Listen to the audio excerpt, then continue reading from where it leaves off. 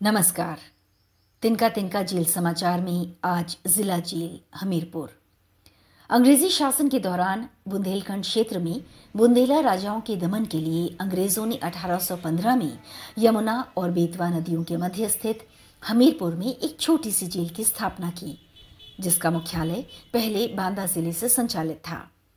बाद में उन्नीस सौ सैंतीस में हमीरपुर को ज़िले का दर्जा मिलने पर यही जेल हमीरपुर जिला कारागार के रूप में स्थापित हो गई।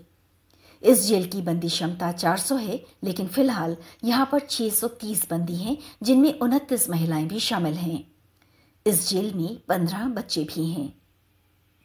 21 मार्च से यहाँ पर पूरी तेज़ी से फेस मास्क बनाए जा रहे हैं।